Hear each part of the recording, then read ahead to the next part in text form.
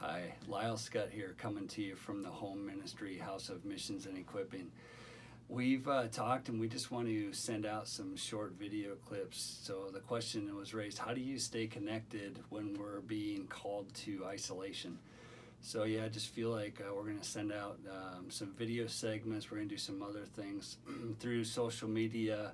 We're going to stay connected. And even when we pray or send out little video clips, read scripture and pray, if you join in, and just say yes in your heart and in your spirit and pray along with whoever is doing the videos, uh, the prayers will be multiplied. So just encourage you as we do these short video clips to stay connected.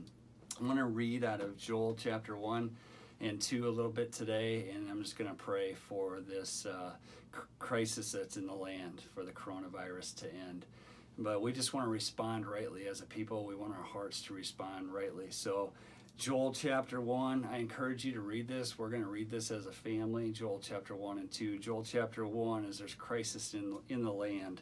I'm going to read a couple verses. Uh, verse 2 Has anything like this ever happened in your days or in the days of your fathers? So, yeah, we talked about this as a family. We've never seen anything like this. My parents have never seen anything like this. So, uh, just talking about the Lord is getting everybody's attention. The Lord has stopped uh, NBA, March Madness, all these things. He's put the country, He's put the nations of the world on hold for this moment. And verse 10 the fields are ruined, the grounds are dried up, the grain is destroyed.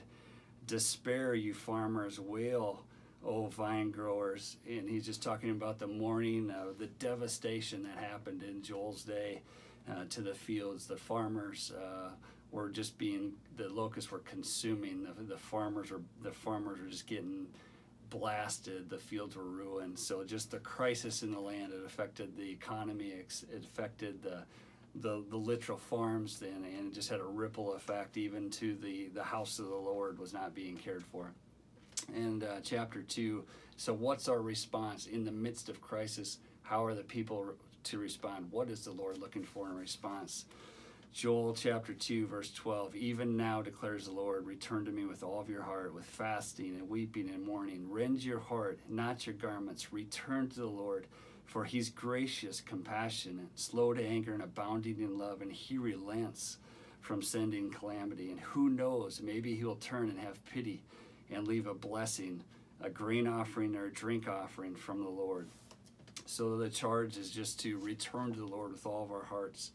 In verse 18, then after the Lord sees the rending of our hearts, after he sees the turning, after he sees the repenting, the Lord says, verse 18, then the Lord will be jealous for his land and he'll take pity on his people.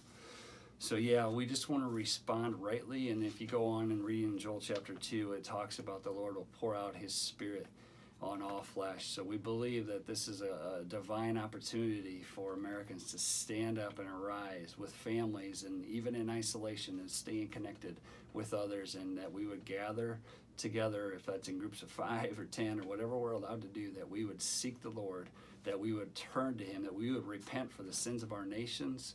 Uh, the, the, the, sins that, that we are just basically uh, standing in agreement like, Lord, we repent for the homosexual, uh, same-sex marriage, that the Supreme Court did that. We repent for abortion in our land, and whatever the Holy Spirit leads you to repent from.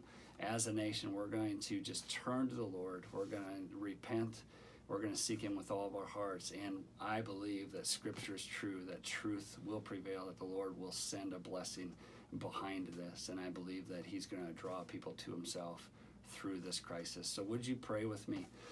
Lord, I just pray right now, Lord, as, as many are watching this and we are in isolation, Lord, these prayers are multiplied through the yes. So through the yes of agreement, Lord, where, where we agree in prayer for anything, Lord, we come together and Lord, we ask that you would forgive us for the sins of this nation, Lord. Forgive us for turning from you. Uh, forgive us, Lord, for uh, turning to the gods of this age and gods of this world, Lord.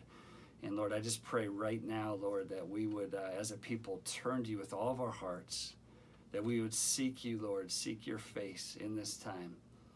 And that, that you would come, Lord, and that you would hear our prayer. You say that, that you will hear the cries of your people And Lord, you will come, you'll have pity, Lord, when you hear our cries, and you'll you'll come and you'll release a blessing, Lord. So I just pray, Lord, that right now as a people we would turn our hearts to you, even as family units, that we would gather and seek your face right now in this season.